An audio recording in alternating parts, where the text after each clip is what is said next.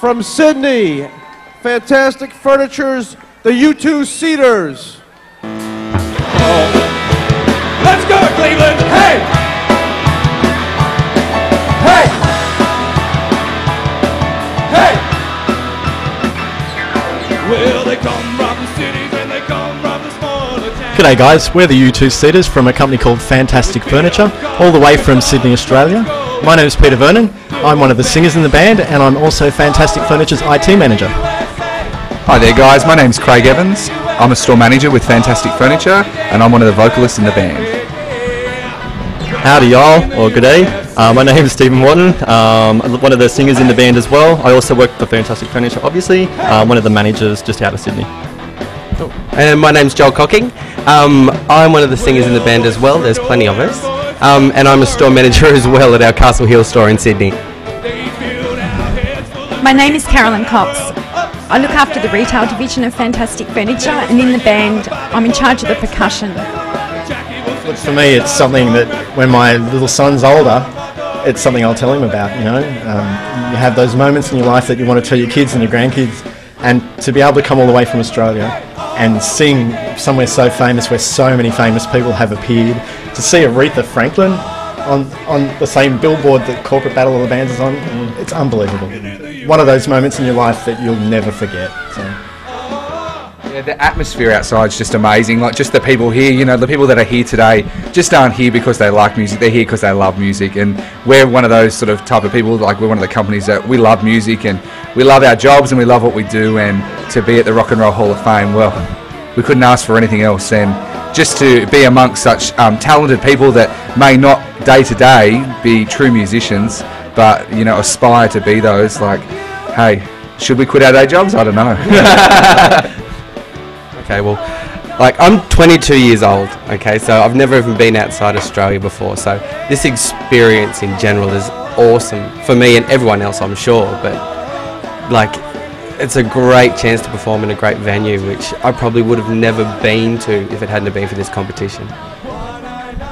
about a year ago that um with, they came with this with the idea of going to the Australian Battle of the Bands. We thought, oh, yeah, we'll go in for a bit of fun. Like even just performing at the Sydney Entertainment Centre was just amazing. Like, but then now we're here, the Rock Hall of Fame, and it's just mind blowing. It's amazing. I guess I entered these guys as a bit of a joke, and as part of the rules, a senior executive had to be in the band. Two of our uh, directors actually played the guitar, and they both backed out.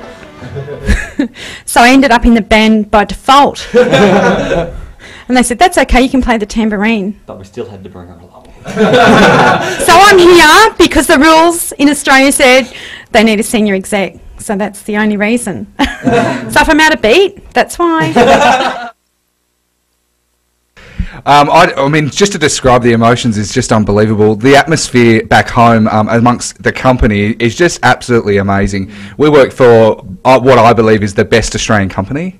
And um, the incentive that the company gives us to come to work day to day, um, and then the opportunity for us to perform outside of it and to do things like we're doing here today, is just it's just mind blowing. And you know, again, I'm only 26, and I think to myself, wow, like in 70 years I'll, I'll retire, and you know, I'll retire at Fantastic Furniture, and I just think to myself, you know, what an achievement to have being at the Rock and Roll Hall of Fame and doing it as part of my day to day work as well, and I just can't. I just can't describe it. And the support that we have back home is just amazing. Um, every single person within our company, you know, um, w- whether they spoke to us in person or gave us a call or emailed us, you know, everybody's behind us. Everyone's been behind us from the day we started, and it, I just can't describe it. Do you know what I mean? We're a company. We're a family company. We stick together.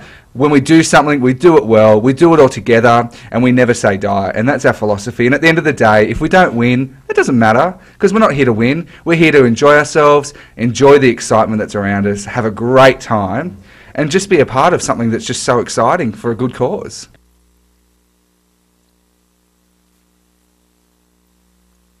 I think it's good. It gives other people something to aspire to within the company. If we enter in the future, there'll be other people there now that'll come forward. We held the auditions a little bit like Australian Idol. I guess you have American Idol here, and we made everybody come and act.